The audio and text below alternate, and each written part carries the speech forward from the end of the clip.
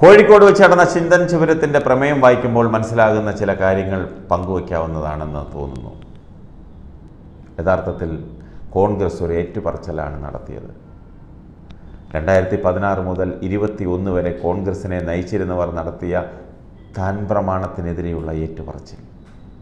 പിടിപ്പുകേടിനും ബലിയാടാകേണ്ടി വന്നവരുടെ ഏറ്റുപറച്ചിൽ.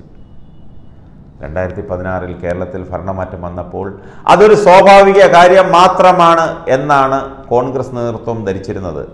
എന്നാൽ മുഖ്യമന്ത്രിയായി ചാർജ് എടുത്ത പിണറായി വിജയൻ ഇരുപത്തിയൊന്നിൽ തുടർഭരണം എങ്ങനെ നേടാം എന്ന വിഷയത്തിൽ ഗവേഷണം നടത്തുകയായിരുന്നു.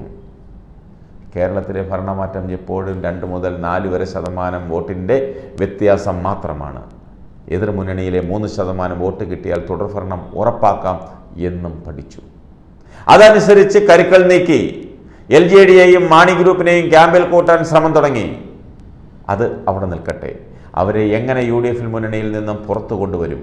യു ഡി എഫ് വിട്ട് ഒരു കാരണവശാലും പുറത്തു വരില്ല എന്നുറപ്പിച്ചിരുന്ന മാണി ഗ്രൂപ്പിനെ ഇളക്കിക്കൊണ്ടുവരാൻ നിസാര പണിയല്ല.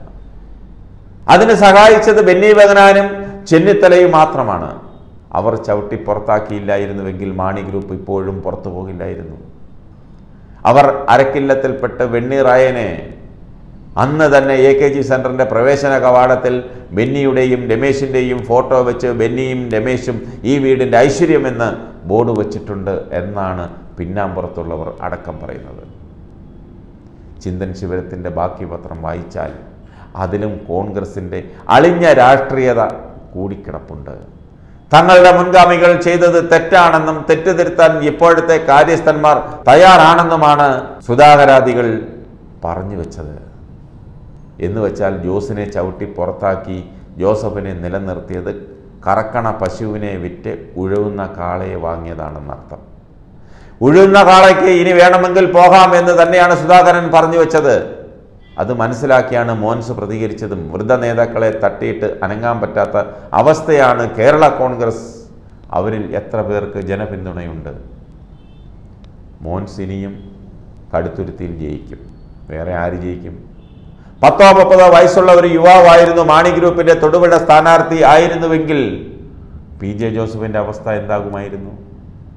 അടുത്തത് വലിയൊരു പാഠമാണ്.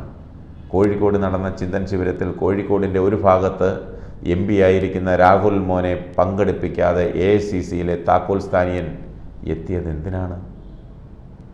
അപ്പോൾ അടുത്ത ആൾ താനാണെന്ന സന്ദേശം കൊടുക്കാനാണ് സുധാകരൻ വേണുവിന്റെ പണിക്കാരനാണോ? ഒന്നുകൂടി ചോദിക്കട്ടെ.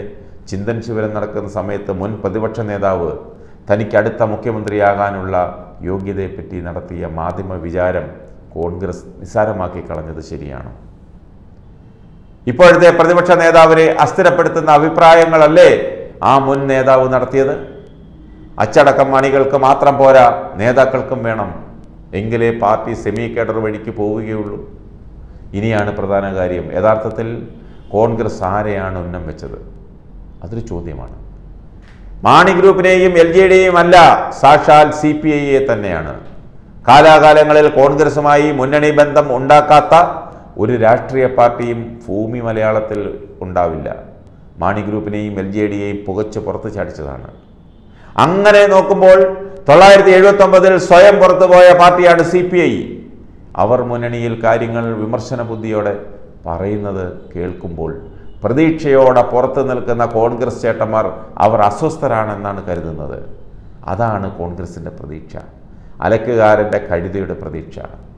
അതിന്റെ കൂടെ ജോസഫ് പോയി ജോസിനെ കിട്ടിയാൽ ബോണസ് എന്നും കോൺഗ്രസ്സുകാർ കരുതുന്നു.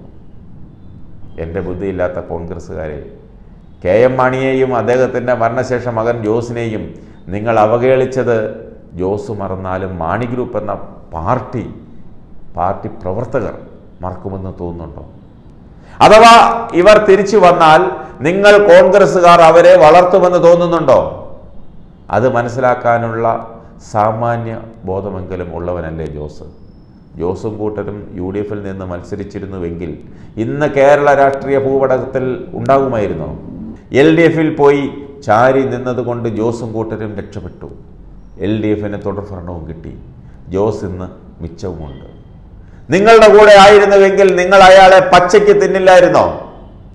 ശത്രുവിനെ നേരിട്ടെതിർത്ത് ഇടിച്ചിടുന്നതാണ് നല്ലത്. അല്ലാതെ തോളിൽ കൈയിട്ട് നിന്ന് പിന്നിൽ നിന്നും കുത്തുന്നതല്ല. ആദ്യം നിങ്ങൾ കോൺഗ്രസ്സുകാർ ഒത്തൊരുമയുടെ ഒരേ മനസ്സോടെ നിൽക്കാൻ പഠിക്കുക എന്നിട്ട് മുന്നണി വികസിപ്പിക്കാൻ ശ്രമിക്കുക നിങ്ങൾ മുന്നണി വികസിപ്പിക്കാൻ നോക്കി നടക്കുമ്പോൾ മുന്നണിയിലെ ആരെല്ലാം പുറത്തു പോകുമെന്ന് കണ്ടറിയണം. നിങ്ങൾക്ക് കഴിഞ്ഞ ലോക്സഭാ തെരഞ്ഞെടുപ്പിൽ പത്തൊമ്പതെണ്ണം കിട്ടിയത് ബി ജെ പിയുടെ സമരപരിപാടികളുടെ ഗുണഭോക്താക്കൾ നിങ്ങളായിരുന്നത് കൊണ്ടാണ്. ആത്മവിശ്വാസമില്ലാത്ത ബി ജെ പിക്ക് എങ്ങനെ മുതലാക്കണമെന്നറിയാൻ പറ്റാതെ പോയി. രണ്ടായിരത്തി ഇരുപത്തിനാല് സ്ഥിതി അതല്ല. പത്തൊമ്പതിൽ പത്തെണ്ണം കിട്ടിയാൽ നിങ്ങൾ മിടുക്കന്മാരായിരിക്കും. അതിൽ കൂടുതൽ കിട്ടിയാൽ മിടുമിടുക്കന്മാരും.